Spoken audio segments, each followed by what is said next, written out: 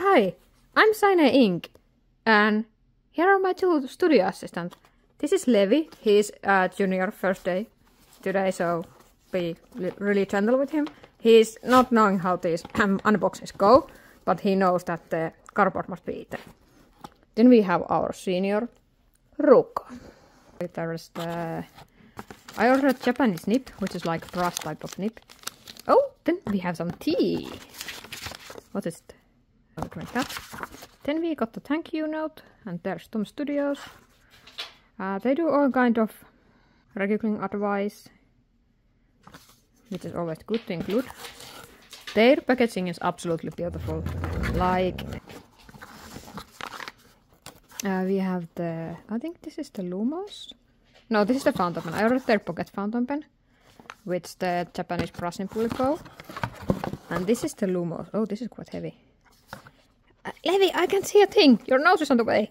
Yeah, this is the Lumos. So these both are like special type of pens. And I will actually show this more on my table because I will ink, it, ink them up, brew some tea. So here we are with at the desk. I have the tea in the thermos mug, also pens and Japanese stick. Let's open this up because this was the main reason I got the fountain pen. Um, ooh, interesting. The reason being I have been really wanting to find good brown brush pen, but got a feed structure. I, I don't know how it works, but we shall see because I will change the, that nip there. Um, then just just about the fountain pen first. I got their pocket fountain pen. Actually, I don't remember the color I picked. I think it was black. Yeah. So this is black. It's quite heavy. And for the size comparison, here's the Kaweco Sport. Oh, it's same size. But it's much heavier. This is uh, all metal construction. I can... I don't know where my... How does this open? Here? Is it? No. No? I don't want to break it. Why it's not opening? Uh, packaging it. Oh! The, oh! That looks scary. So, with this converter you can pull ink directly into the chamber and you don't need to dip the front in a piston is super smooth. I have never operated this smooth piston in the converter. Okay, so I had to look another review and you should be able to pull this out. There's no like oh my god it, ah that sound it may hurt. The nip is fine. Uh, it has extra fine flex nip I think I will use it first with this nip and then try the hot swap the Japanese. But that gap mechanism is definitely something I'm not liking. I'm actually terribly afraid to put it back together. And there are cartridges of ink.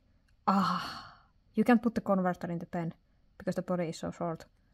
And I think I don't have empty cartridge because all of my because I use those with the Kaweco, so we need to go with this private cartridge. Sad because I was wanting to have it brown ink. So we need to let it sit down.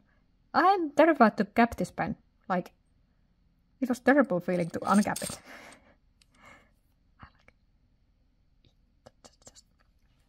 little pressure. Definitely, um, at first I was actually worried that how that sound, that sound is horrible.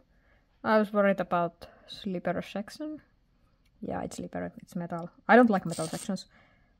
They usually make me grab the pen like even more and my hands start to cramp. So why you get this then? So this is probably for the filling the cartridge because the converter cannot fit this pen. Definitely I'm not fan of that capping me mechanism, but this is not a review, I just use like first impressions. My first impression is that the capping mechanism is horrible. Then we have the Lumos, which I'm more this was the like the main part of my order. I was thinking uh, not getting the fountain pen, but because I wanted to try the Japanese brush nip on that one, I got it.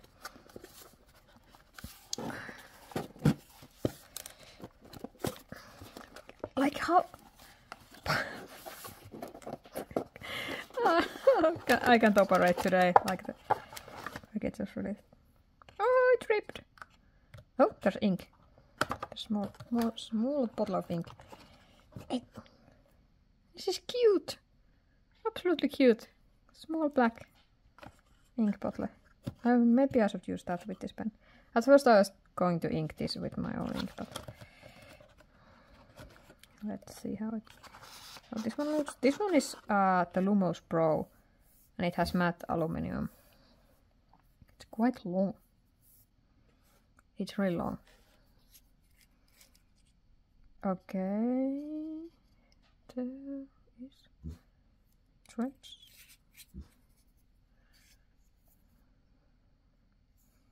It feels off. Oh, there are threads as well. Hmm. So let's see the, the oh more stuff. Okay, so here we have the Lumos full tip set. Okay, and there we have silicone tip grip. Get a hold of the nips without getting inky fingers. Okay, that sounds good.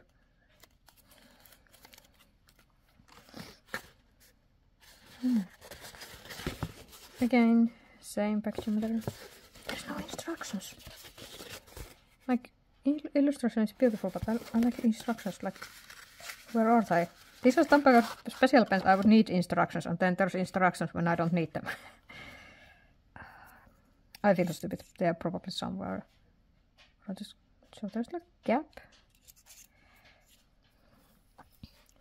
I I got this one because I was uh, think because I usually use two two widths when I'm inking, so this feels awfully long. I was I was being happy with just one half of this pen. Just the other way around it feels. Also, threads are really squeaky. So, how you operate with the... Oh, this one opens as well.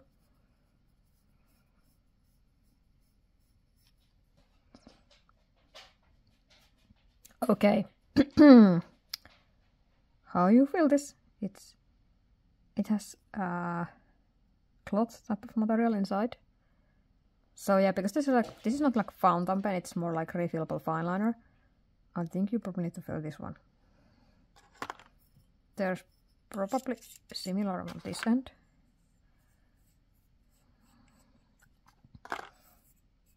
This one has more creepy material, like it's it's really even if it's metal, it's really creepy. So we have the silicone grip tip.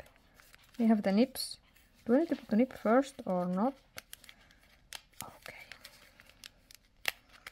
I really don't want to pause this video again and look for reviews because I think that shouldn't be mandatory step when you're using fountain pens.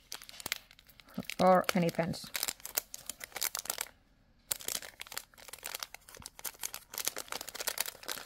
It's so annoying, like... This is something I would like to see how it's used. Because it's kind of special. Okay.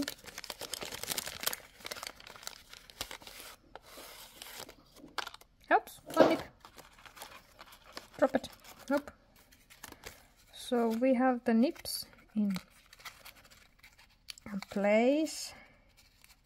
Yeah. We have a full set. 1, 0 0.1, 0 0.2, 0 0.3, 0 0.5, 0 0.8 and 1. And then there's brush, these are foamy chisel and felt tip. Uh, what I personally use in inking are actually 0.3 and also 0.5. But I was thinking maybe I add the brush on the other end because that is something I would... It's quite hard as the brush tip, but let's see how it goes. this I, I was planning this to be a quick video, but I'm I'm so sorry it doesn't it I know it not will not be the quick video.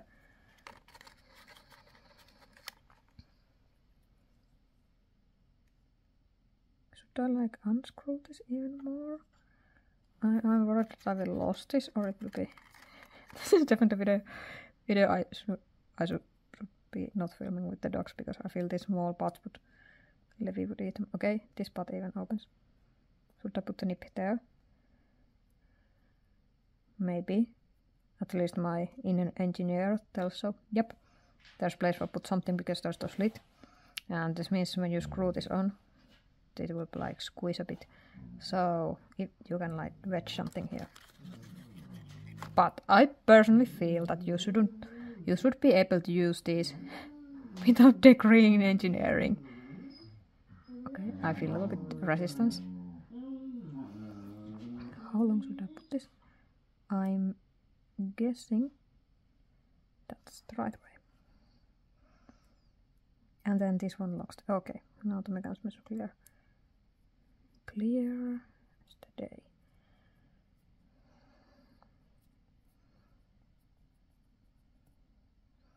How you feel this? Like, do you put the dropper? There's no dropper include. Just dunk this in the ink. Should I use only this ink or is this waterproof or not? I don't know. Let's let's go.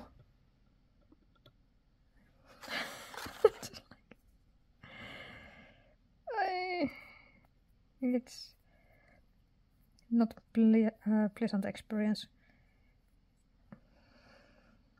Okay, this one is same slit. Let's go with this one. Okay, this material this is completely felt, so it's a bit different. Focus, yeah. But let's hope it should work the same way. Nope, there's resistance. Please go there, please. It feels really this was more tougher to put inside.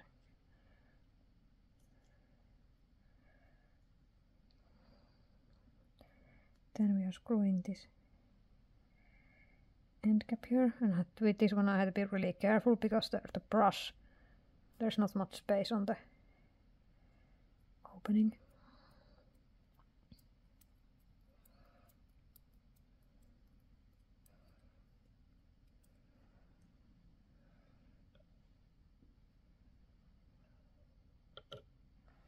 I have no idea how ah! ink coming to my fingers. I don't I, I don't like inky fingers. I don't know is this enough. It looks like it's inked. Let's put it inside. Screw it on. Oh, I got ink on my fingers, of course. And then let's put the cap on to minimize the mess. And then let's take this one. At least the tip has turned black. So I assume it's ready to go.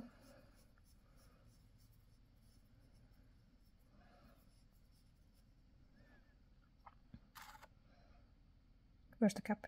Oh, there's no other cap. Oh. Because the other end like rotated inside. Let's put this tip collection carefully back, like so. And the silicone grip I didn't even open. Fasten the ink bottle.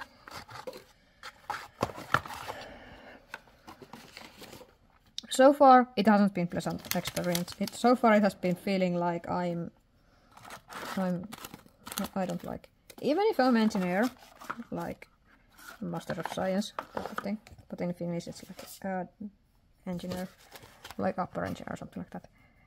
I I don't feel comfortable to handle. This was qu quite expensive. I think the it was around 100 euros, like per pen or something like that. But I feel I would like to have some instructions. These are quite special ones, so you can't assume people know how how you could use this. This Lumos is way too long. I feel it. It's it's like awfully long and top heavy because there's the other other part of pen. I don't know why they didn't include the like two caps because then I could open it up the middle, but then I think it would be a problem with drying. So yeah, it, it could be much shorter.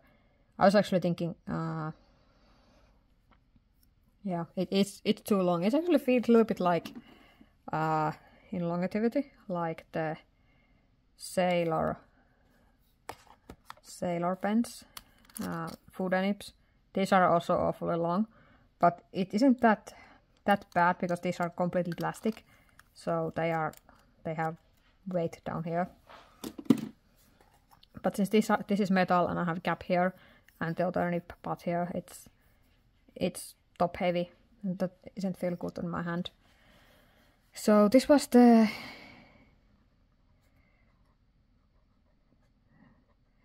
Lumos brush nib.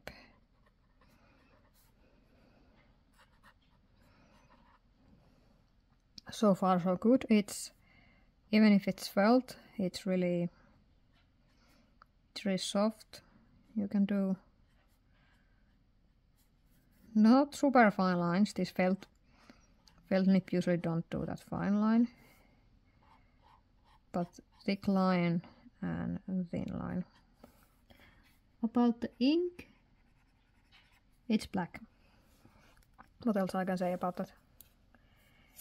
Let's see how it works on the... I'm more interested in the fine liner size because fine liners are something I still use even if I'm fountain user. And I hate that I need to uh, rebuy the whole pen and they are disposable. So this is the Lumos Pro fine line. Oh, fine liner.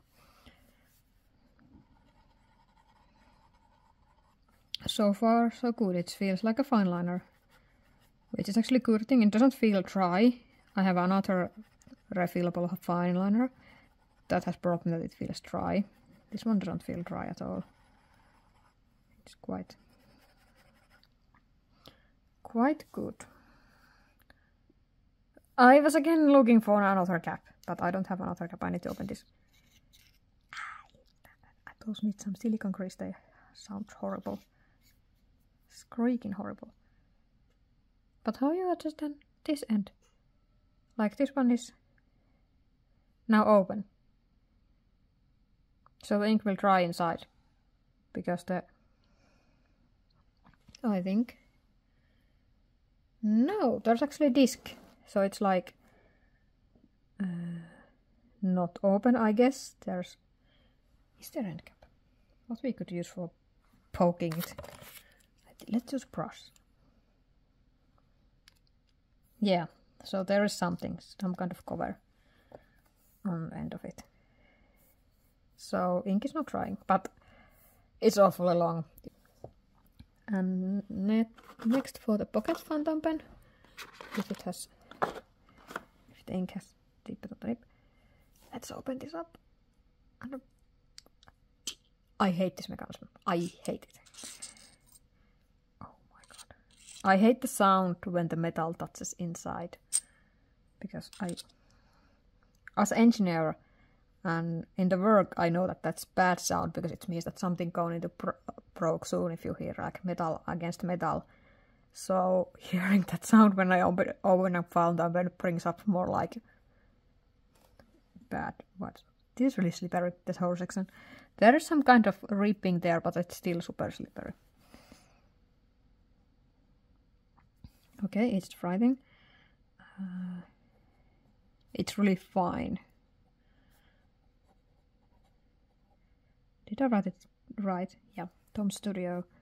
This is extra fine, definitely extra fine. Very smooth nib. Mm, this was also flex nib. Which is, I assume there's like these cuts on the side and long slit here, so it should flex quite a bit. But currently I'm liking that it's super fine. It's really smooth, So it definitely tuned, tuned nib. Here I actually tilted it because the pen is really slippery. So let's see how it goes with the flex. It's flex decent an amount.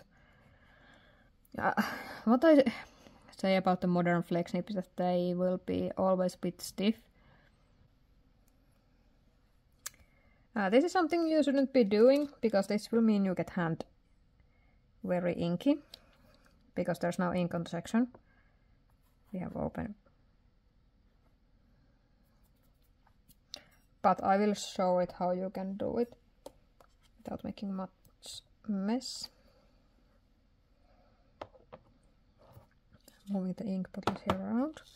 So grab a cloth and put uh, like two times is fine. Then if you just keep the cloth there, you will get inky fingers because this is porous material. Then grab something that is non-porous. I would say something like plastic, soft plastic works well. If we can find something. Oh, there are some stickers. It doesn't take that. Um, let's go with this one. So you put the, this soft part inside, then something that doesn't get ink through. Hold it gently. And be mindful what spots are inky. Like this section outside is fine. This part might be inky, but it seems to be clean. But we still are playing it through, so I'll just like drop it there. Like a little bit ink on the fingers, but not that bad. You see some of the seep through the cloth. Now we know this is not inky, and this also not inky because it's clean. So we can screw it there.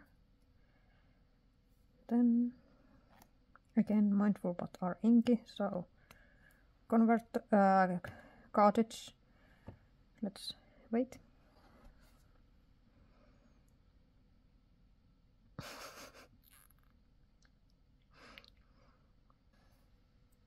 Also, um, how I use pocket pens.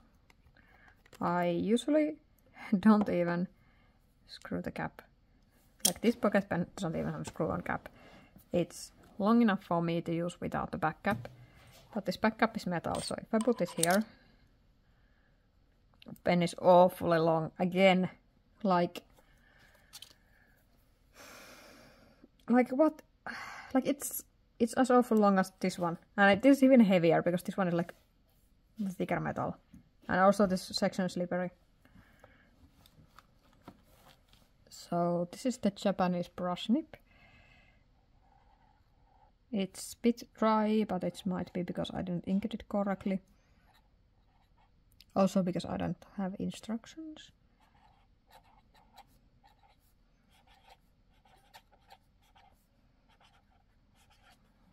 This feels like something quite close to Copic nib, nib actually, like the Copic Ciaos.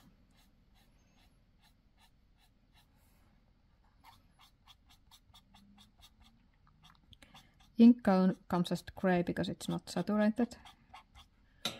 Oh, don't mind that. Can do thin and thick lines. These kind of felt nibs are not my favorite type of brush nib. I usually like more of the the ones that have like hair because they can actually flex more because with these ones you don't get that much line variation. And also tips wears down fast. But you could, you, this look to be like rotatable, rotatable. So I hate that capping mechanism. I must, I hate that. Like, I seriously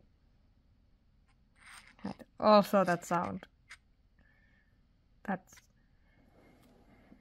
I, I, I bring it closer, like, now it's capped and then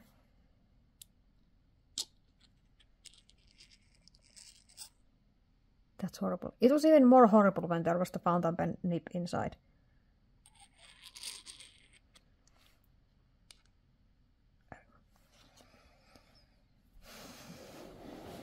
So, here are the two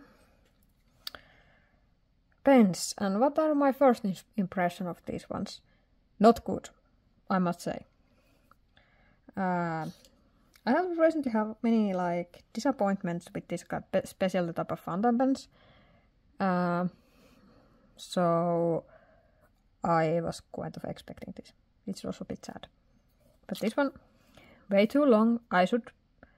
I think there's option for the one that it, it wasn't like dual ended.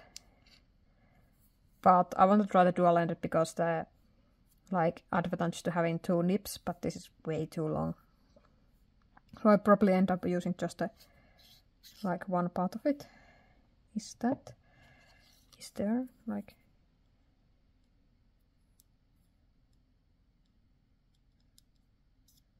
the oh I don't know. I don't know is there a end cap or not. Is this side different? Yeah, this side is different, but there I'm not sure is there end cap or not. So this side I could use as separate pen. But then it's that bit too short. Well, it's long enough for me, but uh, definitely a bit weird. I was actually thinking, but yeah, there's the cap thingy there, because I would like to be able to screw the this unit inside this one, but I think the foam part is too long, so I could have like this short pen dual-ended.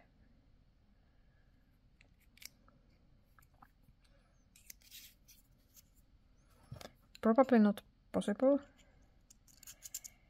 it's a bit better if I have it like this way.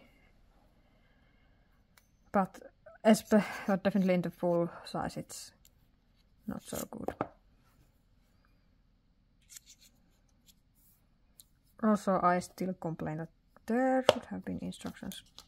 Was there instructions like at least there was a lot of writing but I think it was just like instruction. Yeah. There's like cleaning instructions for the sculpting.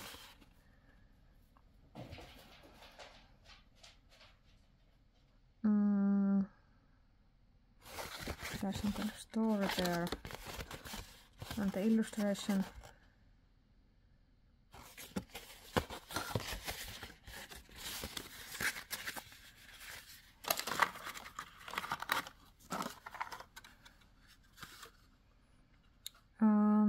So it says what is include but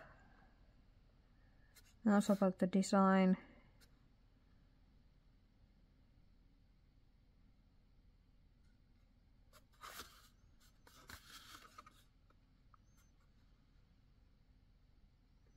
Maybe it's the QR code I should have scanned beforehand.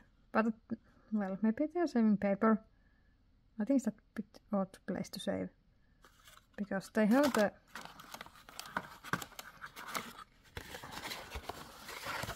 booklet there which they use as the packing material. Yeah, I enjoy the pretty illustrations, but I would much rather have something more useful there, like the instructions how to use the pen, especially, especially on the Lumos, because... So yeah, that was my I will have like proper review of these ones when I'm giving them some use. And but my first impression is that it's not it might not be positive. it was really hard to uh how to get them use, especially the Lumos one. They are also a bit too long and both of them are quite bulky. This is quite bulky for pocket pen. So heavy. And also I don't like the capping mechanism at all. So yeah, that was it. And let me know in comments below, do you have the Tom's studio pens? Or do you have any of that, these type of specialty fountain pens? And how you are feeling about those? Because I'm interested, I'm actually going to do a video about them soon. And there will also be like some end, like extra stuff. So there will be all of those bloopers which we have. And I was trying to film this with uh, Ruka and Levi. So enjoy! Our senior, Ruka. Yeah, he's good boy. Uh, Levi, don't drop it. Uh, uh, sorry, Ruka, no, no kissing. Let's see how this goes. Uh, Ruka, Ruka, Ruka. No, no stealing treats. Hey, hey, hey, hey, hey.